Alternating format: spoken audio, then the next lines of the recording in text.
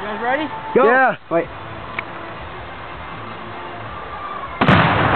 Holy shit! What? Cut it off.